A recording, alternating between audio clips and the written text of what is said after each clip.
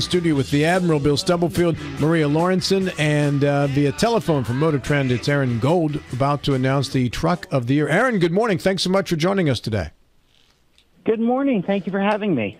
Well, I'm reading here that, that and this is no surprise, the top three vehicles, uh, best-selling vehicles in the country this past year were trucks. And if you look around on the highway, trucks rule. So now you're ready to announce Yeah, your truck of the year, right? I am, and I am very pleased to announce our 2024 Motor Trend Truck of the Year is the Chevrolet Colorado. Oh, I see a lot of those around. The Chevy Yes, Colorado. well, it Wow. actually- Chevy Colorado, fantastic midsize truck. This is actually the third win for the Chevy Colorado. The previous generation that you see so often has always been at or near the top of its class in our Motor Trend Ultimate Car rankings, and the new version really builds on the strengths of the previous version. It's got a thoroughly modern turbocharged four-cylinder engine, tows up to 7,700 pounds, and it is fantastic off-road, particularly the Trail Boss and ZR2 versions. Great truck. There were some excellent contenders in this year's Truck of the Year competition, including the, the Chevy Silverado HD, the Ford Super Duty trucks, and the amazing Ford F-150 Raptor. But the Colorado really stood out for us because it is so good at so many things. It's a comfortable daily driver, it's a great work truck, and it's a very accomplished off-roader. And that's why it's the Motor Trend 2024 Truck of the Year. Aaron is the senior editor at uh, Motor Trend. What's the price tag on this bad boy?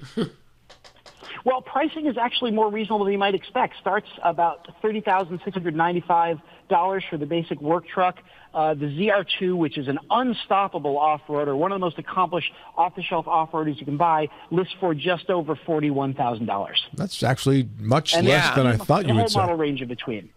Yeah, I'm surprised that that price is as attractive as it is. I was going to say, Aaron, does the price play in at all to the to the selection? Excuse me.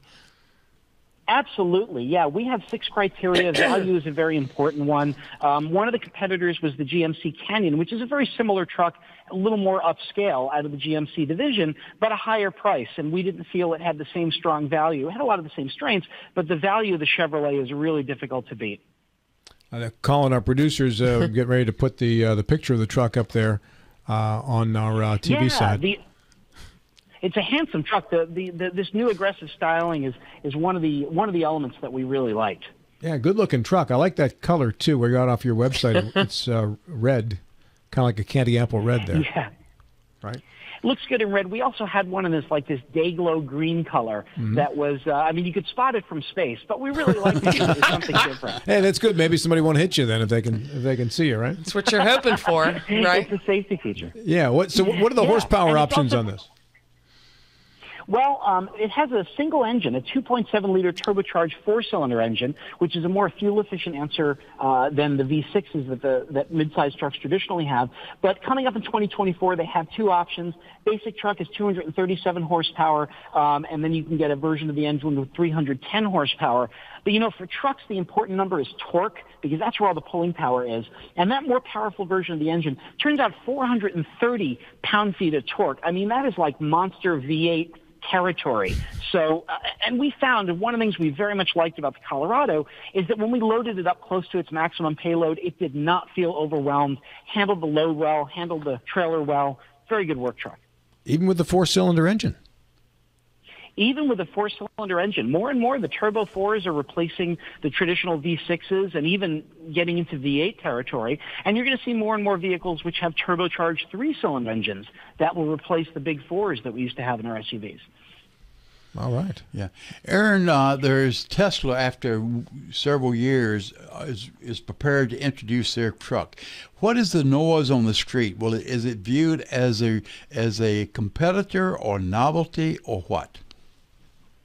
Well, the Cybertruck is interesting because Tesla has a very different audience than I think the mainstream truck buyers. You know, we've had two electric trucks as our previous truck of the year winners, the Rivian R1T, which is a more Tesla-like vehicle in 2022, the Ford F-150 Lightning in 2023. And the Lightning is just like a regular F-150, but electric and, and faster.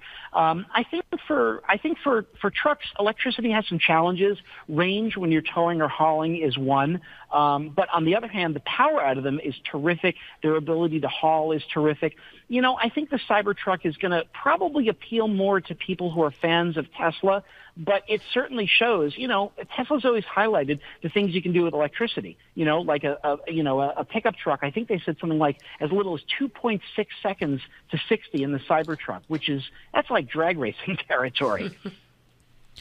Aaron, what are you seeing 2024 as being in terms of the automobile, the truck? Uh, are we moving more toward electric, hybrids, or still staying with the internal combustion engine? Well, it's interesting because we are going to see more electric vehicles, obviously, including some more affordable models, which the market really needs. But I think you're going to see in this year the automakers getting back to emphasizing their hybrid models, their conventionally powered models, especially these Turbo 4s and Turbo 3s. You know, I think that as range anxiety has given way to charging anxiety, I think the buyers need to be reminded that there are still plenty of conventionally powered vehicles that are very fuel efficient, and that's something that people who aren't ready to embrace the EV yet, I think are going to be a lot more comfortable with. You see those networks building out. Do you think within 10 years, the uh, range anxiety will be, or charging anxiety will be uh, a discussion of the past? Well, I, I would hope so. I think most people who buy electric cars, especially who charge at home, who have uh, what they call level two 240 volt chargers at home, I think most of them find that range is really not an issue because you've essentially got a gas pump in your garage. So they leave every morning with a full tank. Long distance travel is a bit more of a challenge, and that, that fast charger uh, uh, network still needs some improvement. You know, but I think I think range anxiety and charging anxiety is something that affects the people who haven't made the transition to EVs yet a lot of I have a lot of friends and colleagues who own EVs, and they say it's really not that big a deal. Aaron, we are just about out of time. Uh, where can people go to find out more about the Chevy Colorado and the selection for it as the truck of the year? They can visit us on the web at motortrend.com.